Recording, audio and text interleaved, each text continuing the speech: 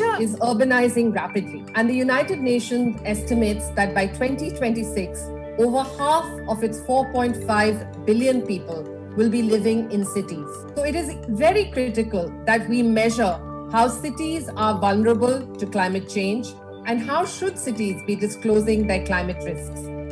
And most importantly, how can cities increase and strengthen their resilience capacity?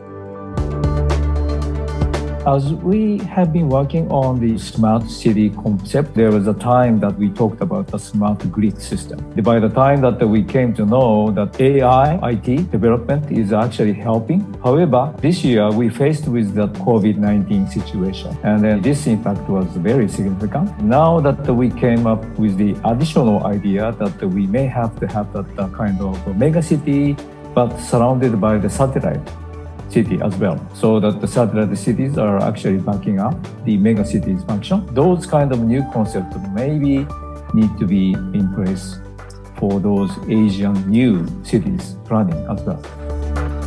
Climate change is going to exacerbate vulnerabilities. The labor, the cleaners, the factory workers, those are the people who are going to be most at risk at these changing conditions because they're the ones that are least able to protect themselves and the least able to have a voice. And that's why I think it's so important that we focus our efforts on measuring and listening to what those those people need, those workers need, those household needs to succeed in a time of climate change.